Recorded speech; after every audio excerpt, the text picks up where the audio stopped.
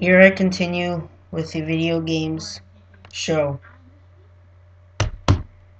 So, I have quite a bit of video games. I just want to show you today how many I have. Just a good selection. You can see some good games and bad games that I have. Okay, I'm going to start with the Star Wars The Force Unleashed 2 game. it's in here. Disc. This. This game right here, it's okay for all you guys that are very, very good, but if you just want to have fun and use the cheats, it's not really great because the cheats are not good in this game. So if you if you just want to use the cheats, stick to the Star Wars 1 Force Unleashed on the PSP version. It's it's much better. Another game that I have is um Red Dead Redemption. This game's okay, but for some reason it glitches out with the cheats. It's like when I use the cheats, I always have to turn them on again every time I go there. And when the cheats are on, it doesn't save my data in the storyline, so that sucks.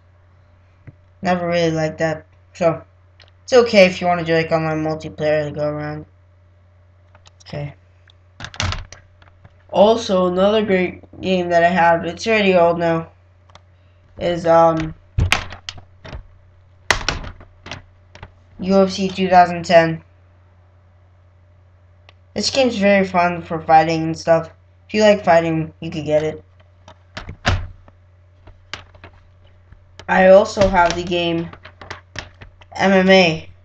This is probably a better version of the game, but it has less storyline. The storyline mode is not good in this one, but the fighting is better and the people are better too, so. Hmm. Here's NHL 11. NHL 12 already came out, and I'm going to show you that game later, but this game is very fun. It's actually a very, very fun game to get, like, when you do fantasy draft. It's very fun if you like hockey, so.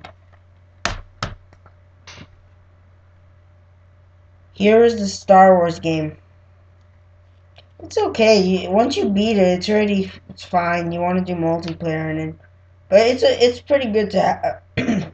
sorry, there it's pretty good to have when if you want a game just to fool around with still unlock all the characters whatever. Well, this game is very fun, but the story mode is extremely difficult. Call of Duty World at War, Zombies is amazing. But Black Ops is probably better now, so might as well get Black Ops. And here's a game you guys might not know about too much. It's called Rainbow Vegas 2.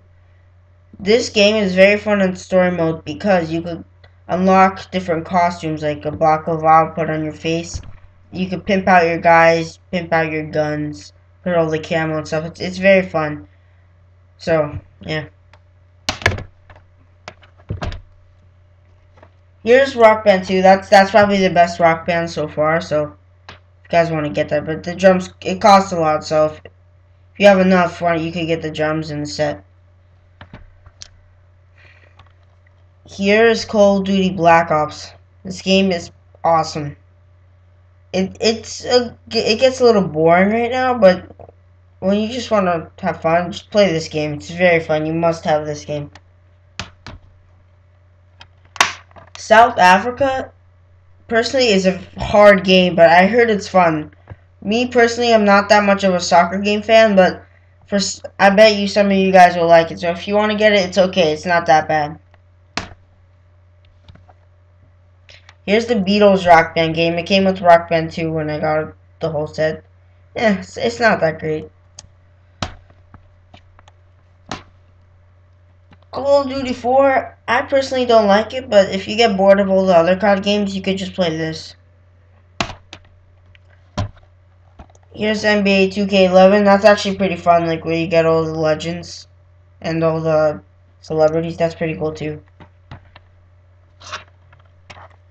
And here's the last game, NCAA basketball. I personally like this better than the pro version because it's easier to shoot and stuff, and it's cool to play with college teams instead of pro teams. Thank you for listening to my video, and when I get some more new games later, I'll give you an update. And wait one second. I actually have some more games. Real fast.